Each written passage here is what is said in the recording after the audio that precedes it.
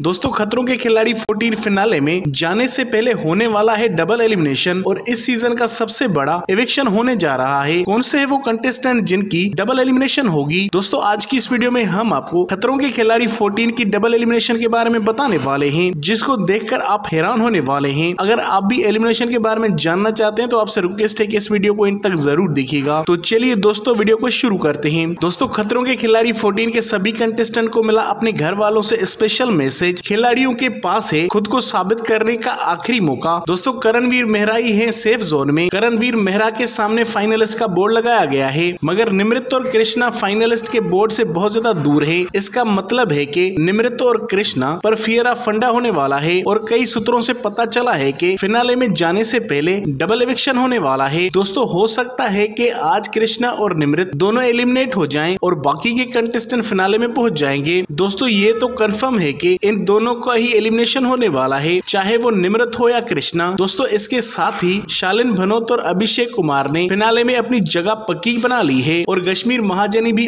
आपको फिनाले के एपिसोड में नजर आने वाले है दोस्तों आपको डबल एलिमिनेशन पर क्या कहना है हमें कमेंट करके अपनी राय जरूर बताएगा दोस्तों अगर आपको वीडियो अच्छी लगी हो तो इस वीडियो को कर दे लाइक और अगर आपने हमारे चैनल को अभी तक सब्सक्राइब नहीं किया तो चैनल को कर दे सब्सक्राइब और बेलाइकन को प्रेस कर दें